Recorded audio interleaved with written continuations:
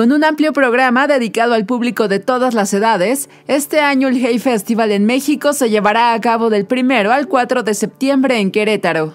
Es un festival que nació hace 30 años y consiste en reunir a periodistas, escritores, pensadores, artistas a contar ideas. Es un, eh, creamos espacio para el intercambio, para el diálogo con las grandes mentes de nuestro tiempo. Personajes como Margot Glantz, Nelida Piñón, Cisno Devum, Álvaro Enrique, Elena Poniatowska, así como el Premio Nobel de Literatura 2008, Jean-Marie Leclesiot, conforman la séptima edición del Hay Festival. El tema de derechos humanos va a tener una gran presencia en el festival. Traemos a otro, otro premio Nobel, Ahmed Galay, que es el representante de la Asociación Tunecina por la Paz, que ganó el Premio Nobel de la Paz en el 2015.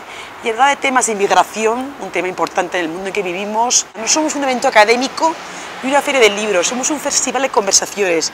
Yo siempre que queremos hacer un llamamiento al público general, no somos un festival de expertos. Son eventos de mucha calidad, pero un formato, una conversación en la que todo el mundo puede participar.